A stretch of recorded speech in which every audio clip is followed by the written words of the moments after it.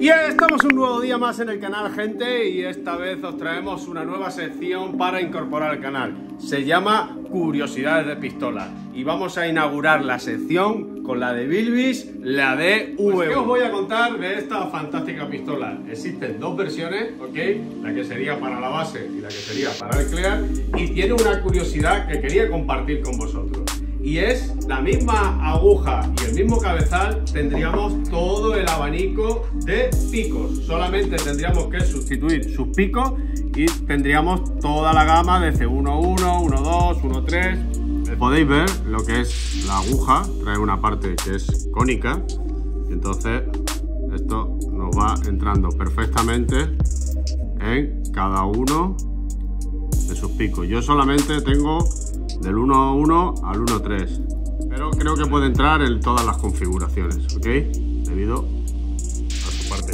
otra cosa también a tener en cuenta cuando cambiemos lo que es el pico al no tener que sustituir la aguja nos tenemos que acostumbrar a hacer esta maniobra. Apretar el gatillo hacia atrás y, y ponerlo.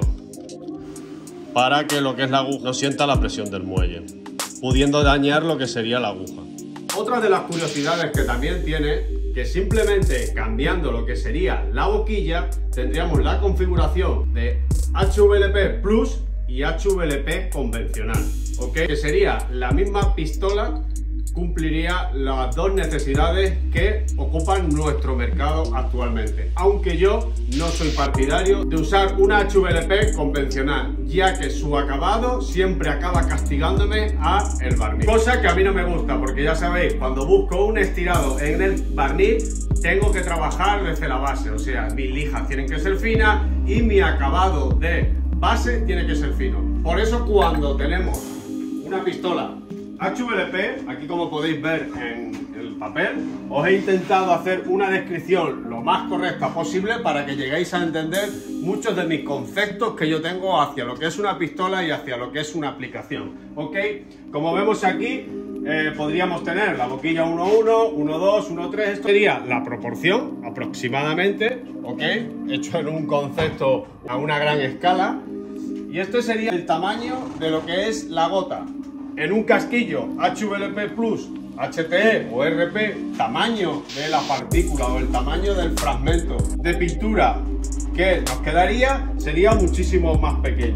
Por lo tanto, el comportamiento de esta pintura sería más vasta, ¿ok? Con un acabado más irregular. Y aquí tendríamos un acabado muchísimo más regular y más fino. Aquí vais a ver cómo es una HVLP convencional y aquí es como es una HVLP Plus. Como podéis ver, la obstrucción del aire es más grande, por lo tanto atomizará muchísimo más eh, lo que es la gota de pintura que nos va saliendo por aquí. Y esta, pues como podéis ver, pues muchísimo menos. Hagáis una idea, pensar en lo que sería una manguera de agua y una manguera de agua cuando le ponemos un dispersor. Y conceptos sobre lo que es la aplicación, ya sabéis que ando pintando en un rango de 5 a 10 centímetros, como siempre os marco en los vídeos. Si os fijáis, concepto de lo que es la pintura, entiendo que la gota que sale por aquí en una HVLP se rompe. Vamos a poner en una 1000, 2000 o 3000 mini gotitas que después se va dispersando según la distancia que vayamos tomando. Por lo tanto, para mí, el rango de mayor aprovechamiento, más rapidez y más empapado que podemos tener es en este rango. A partir de aquí la aplicación sería muchísimo más lenta, por lo cual, para mi forma de entender, gastaríamos más pintura. Una HVLP Plus, una HTE o una RP se rompe en un tamaño muchísimo más pequeño, dando más cantidad y explico exactamente lo mismo. Para mí este es el mejor rango, de 5 a 10 centímetros.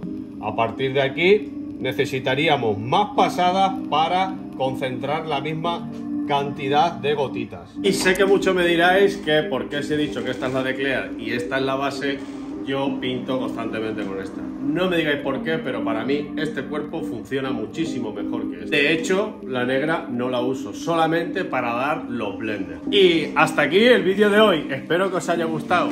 Ya sabéis, si no estás suscrito, suscríbete y activa la campanita y no te olvides de darle al like. ¡Adiós!